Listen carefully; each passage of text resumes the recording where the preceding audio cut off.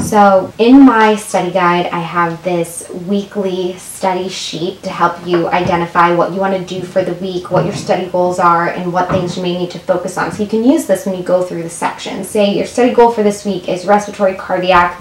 You're going through, you think you understand it, but you're a little confused about, about how the blood pumps through the heart and you want a little more detail, you can put it in the take note section so you know you can go back and you can look up some YouTube videos or whatever you feel like you need. I really like this kind of like to-do list for the week, what your study goals are, and taking notes. Also, let's talk exam tips for day of exam.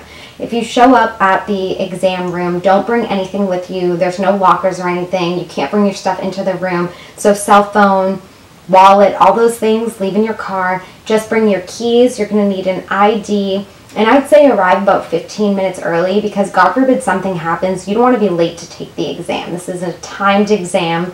Um, so you want you want to be able to sit down, do some deep breathing. Um, you know, your mental health and emotional well-being is super important.